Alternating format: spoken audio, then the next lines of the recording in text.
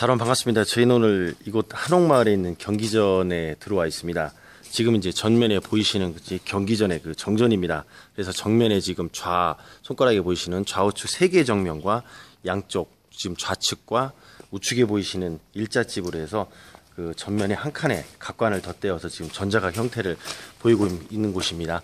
자, 이곳에 좀 더 설명을 드리면 역시 마찬가지로 태조의 어진을 모신 곳인데 아, 지금 지금 화면이 좀 그렇고요.